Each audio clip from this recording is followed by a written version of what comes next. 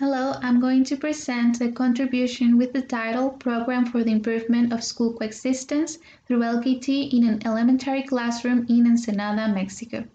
The authors are Amy Nayeli Vargas Ceseña, Eva Maria Torrecilla Sanchez, and Alicia Aleli Chaparro Caso Lopez. To begin with this presentation, I'm going to introduce you to the context and motivation that drives the dissertation research and it's important to notice that this research work is being carried out within the University of Salamanca PhD program on education in the knowledge society scope. So the main topic of this research is school coexistence, which has been um, an object of concern in Mexico because of various manifestations of violence presented in elementary schools. And because of that, different agencies have recommended to establish strategies for school coexistence to promote peace, inclusion, and democracy in uh, elementary schools. And also because of the uh, continuous advances in technology and the digitization of daily life activities, it has been recommended to develop strategies that use the learning and knowledge technologies, also known, uh, also known as LKTs.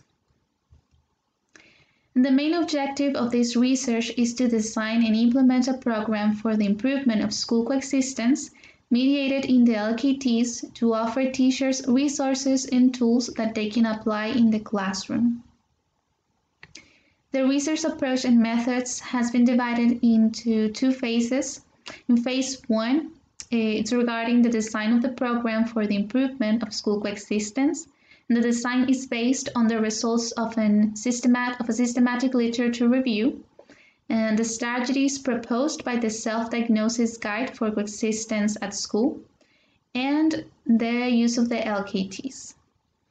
In phase two, uh, is regarding the evaluation of the validity and usefulness of the pilot program, which will be held with the help of a group of experts one elementary school classroom, a self-diagnosis guide for coexistence at school, which, we, which will be applied to assess school coexistence before and after the program is implemented in the classroom.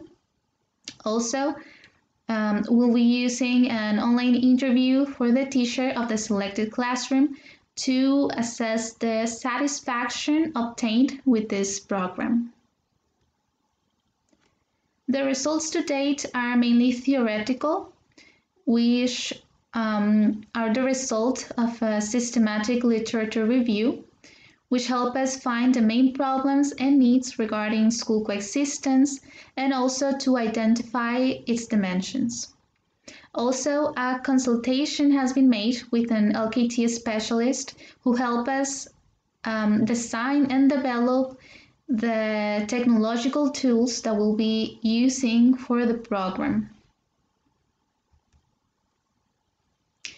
Regarding the current and expected contributions, it is um, we would like to share the results in different media such as articles, conferences, etc.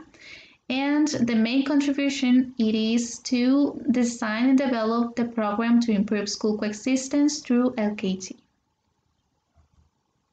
Thank you so much for your attention. I hope that this presentation was of your interest.